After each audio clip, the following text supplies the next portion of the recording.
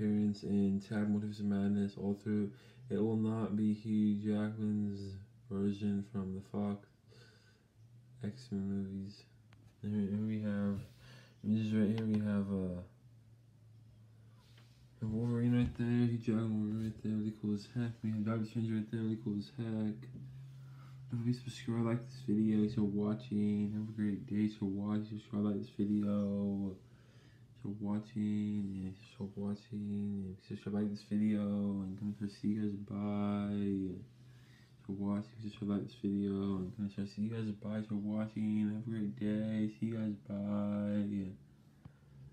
If you're watching, see you guys, bye.